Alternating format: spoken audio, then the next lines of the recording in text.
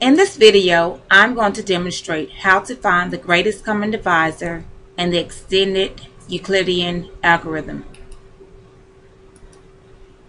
We're going to prove the theorem for integers a and b of which both are not zero. There exist integers x and y such that GCD AB equals AX plus BY. In our example, we're going to find the GCD of 986 and 104. And our goal here in order to find the GCD is to get a remainder of 0. So we're going to take our smaller number and make it the divisor and our larger number make it the dividend.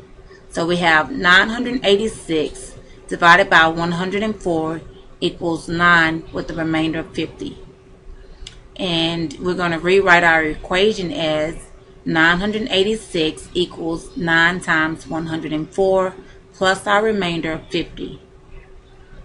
And here we're going to take our remainder and make it the divisor and make our divisor the dividend. So we have 104 divided by 50 equals 2 with the remainder of 4. And we'll rewrite that equation as 104 equals 2 times 50 plus 4. And we'll take our remainder and make it the divisor. Take our divisor and make it the dividend. We have 50 divided by 4 equals 12 with the remainder of 2. And when we rewrite that equation, we'll get 50 equals 12 times 4 plus the remainder of 2.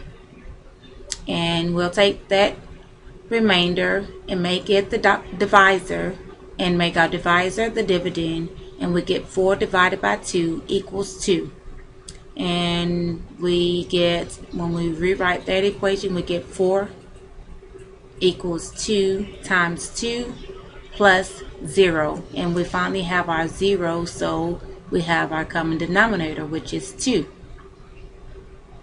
common divisor is 2 greatest common divisor of 986 and 104 is 2. Okay, and in order to find our extended Euclidean algorithm, we have to rewrite our equations. This is the formula we're trying to, this is what we're trying to get to. 986x plus 104y equals 2, our greatest common divisor. Okay, and when we rewrite these equations, we're simply uh, setting, setting everything equal to the remainders. Okay, so here we're going to make everything equal 50, make this equation equal 50.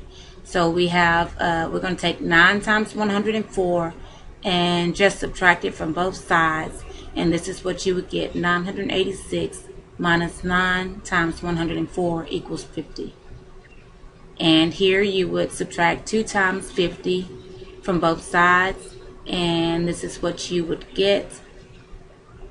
And here subtract 12 times 4 from both sides. And this is the formula you would get. And here we see that this is also equal to 2. So we can stop right there. We don't need this formula. Okay. Beginning with the next to the last equation of 50 minus 12 times 4 equals 2, we're going to begin to eliminate our remainders by using substitution. And this is our goal. We want to get, we want to uh, make our equation uh, equal 986 plus 104y equals 2. Okay, so starting with uh, 50 minus 12 times 4 equals 2. Here, in this equation, we have a 4. And over here, uh, 104 minus 2 times 50 equals 4. So what we can do is substitute this this uh, equation in for 4. And so that will give us 50 minus 12 times 104 minus 2 times 50 equals 2. Okay, and we'll distribute that out and we'll get uh, 50 minus 12 times 104 plus 24 times 50 equals 2. And here I have my uh, like terms underlined. I have 50 and 24 times 50, which would give you 25 times 50. minus 12 times 104 equals 2. And here we see that we have a 50 and over here this equation equals 50. So we could just plug this equation in here and we'll get 25 times 986 minus 9 times 104 minus 12 times 104 equals 2. And I have all the I have the 104 in bold because this is what we want. We want to keep that 104 and we want to get that we want to keep that so we can use it.